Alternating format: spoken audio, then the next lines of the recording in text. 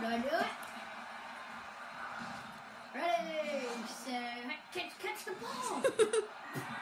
He's dying.